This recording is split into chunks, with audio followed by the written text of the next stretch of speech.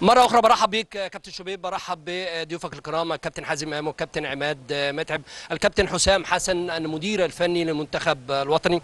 كابتن حسام مش هقول لك هارد لك نقول مبروك على نجاح هذه البطولة الكبيرة. تلعب النهاردة بطل العالم وصيف العالم لاعيبة من نجوم كبيرة عندك غيابات كبيرة مش ببرر على الهزيمة ولا حاجة لكن بقول مبروك على نجاح البطولة واصمامك على إتمام هذه البطولة.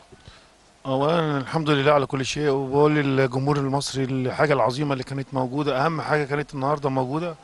آه، هو الجماهير اللي جت آه، كنت نفسي كنت نفسي أفرحهم يعني وقلت للعيبة آه، يعني عايزين نستفاد من البطولة قوي.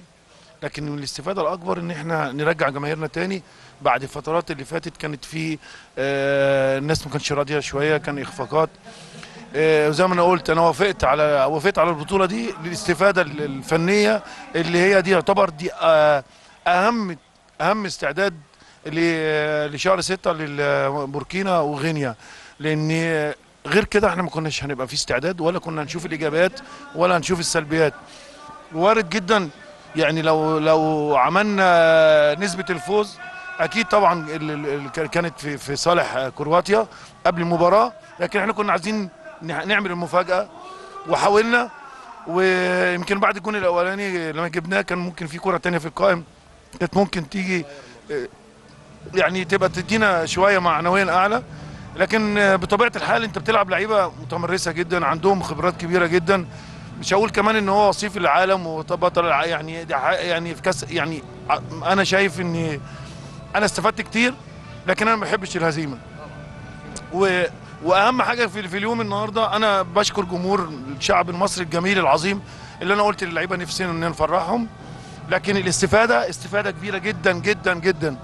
ولو أنا ما وافقتش على الاشتراك في البطولة في في مع مع منتخبات قوية زي آه، كرواتيا ونيوزيلندا وتونس أعتقد إن إحنا كنا ما كناش يعني كنا في هتبقى في حالة آه، آه، يعني تبقى الموضوع غامض إن أنت لما تستعد للم- للماتشين اللي جايين في شهر 6 دلوقتي حاجات كتير أنا طلعت بيها.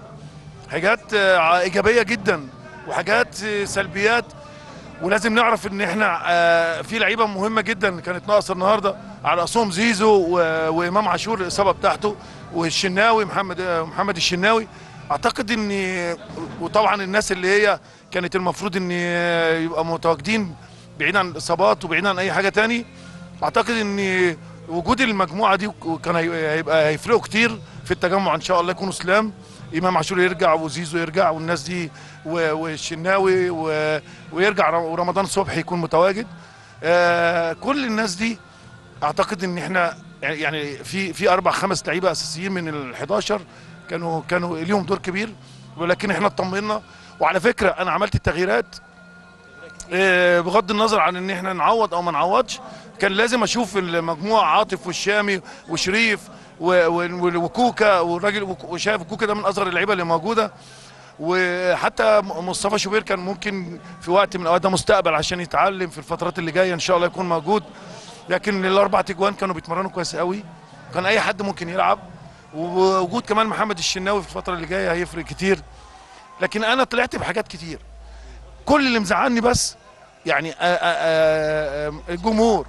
لا الجمهور بس كنت نفسي هم عشمانين قوي والملعب الع- العظيم دون مع جمهور أعظم كنت نفسي أفرحهم. لكن أنا راضي راضي على ال- ال- التجربة ولازم الناس تحط في دماغها لو أنا ما وافقتش على البطولة اشتراك في البطولة كان الموضوع الاستعداد كان هيبقى في خبر يعني ما حدش هيعرف إيه اللي جاي. يعني كنا هنلعب الماتشين بتاع بوركينا وغينيا في ظروف غامضة يعني مش فاهمين لسه آه، ولا مين كويس ولا مين طالع ولا مين بديل ولا بل الإصابات اللي حصلت مين يشتغل معاهم وبدلهم اللي أنا الأسباب اللي أنا قلتها يعني. أخيرا يا كابتن ماذا قال كابتن حسام حسن لعبته بعد هذه المباراة؟ بقول لهم إن إحنا اتعلمنا زي اللي قلت لك بالظبط. الاستعدادات دي أو البطولة دي استعداد كويس في شهر شهر 6 إن شاء الله. وهدفنا هو الوصول لكأس عالم إن شاء الله عن عن طريق الماتشين المهمين اللي جايين. آه قلت لهم ده الأهم الماتشين بتاع بوركينا وغينيا. أعتقد دولت الأهم إن شاء الله في الفترة اللي جاية. واللي إحنا استفدناه حاجة يعني يعتبر كنز كبير جدا من الناحية الفنية والمعنوية. آه، الجمهور اللي جه والشغل الفني والتكتيك اللي كنا اللي إحنا حاولنا نشتغل فيه آه، في حوالي 10 10 أيام بالكتير. لأن أول تجمع وأول تمرينة يعني تجمعنا 13 اللعيبة المحترفين الداخلين في في مصر. تجمعنا 13 بدأنا تمرين 14 اللعيبة المحترفين جم يوم 18 بداوا بدأوا معانا يوم 19 بالتمرين خفيف لأنهم جايين من سفر فكل اللي إحنا بنعمله ده ون- ونحاول نع- نع- نعيد ال- الحالة المعنوية والفنية وال- والشغل بتاع الجهاز الج- كجهاز جديد مع لعيبة آه، آه، بنشتغل معاهم لأول مرة. آه، مع إصابات زي ما قلت.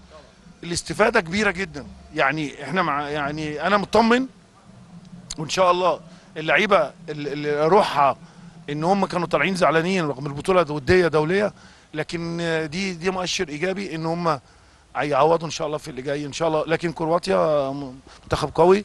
لكن كان من وجهة نظري أنا يعني دايما وابدا إن أنا مهما كان قوة الفريق اللي قدامي أنا كنت نفسي أكسب وكنت نفسي أفرح الجمهور المصري.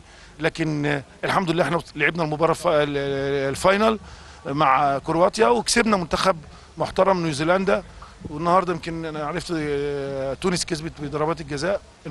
البطولة قوية جدا. أربع منتخبات على مستوى عالي. شكرا.